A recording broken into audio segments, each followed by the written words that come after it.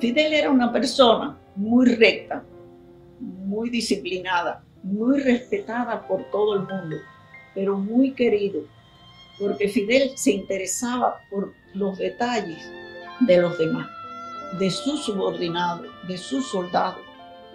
Y eso creo que define bastante su carácter que lo mantuvo durante toda la vida. Era fuerte y tenía que ser crítica, la hacía individual o colectiva. recuerdo muchos momentos de crítica de Fidel Fuerte para que las cosas se hicieran. Porque no te creas que luego convencer una colectividad era fácil, donde había gente sesuda, gente pensando, gente que tenían ciertos conceptos, modificar los conceptos, abrazar los conceptos, de ahí la tenacidad de la palabra y del ejemplo del compañero Fidel.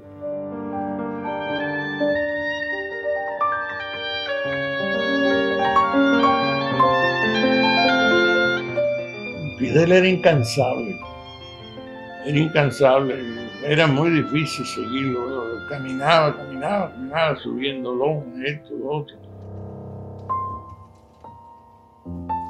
Dicen que él se recuperaba con muy poco tiempo.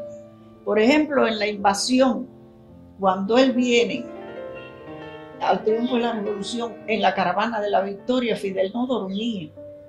Y Celia me contaba un día que era tanto el agotamiento que llegó, ella le trajo un vaso de leche y se fue para atrás con el vaso de leche. Le cayó el vaso en la ropa y él, ella recogió todo y él se quedó dormido.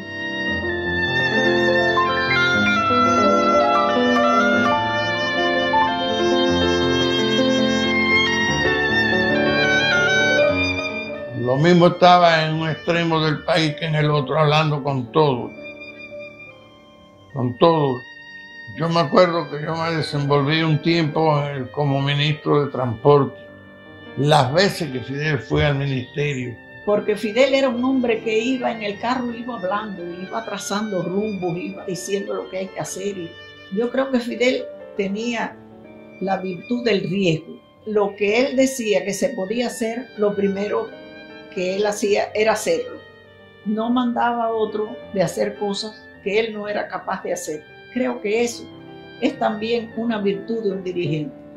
El dirigente que no es capaz de enfrentar los riesgos eh, está siempre sujeto al fracaso.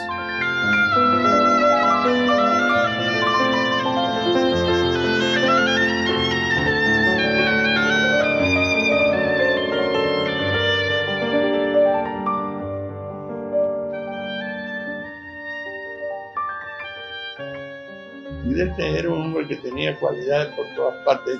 Yo digo que entre más transcurre el la humanidad va a ir habiendo a Fidel en una magnitud mayor. El tiempo va a ser cada vez más grande a Fidel.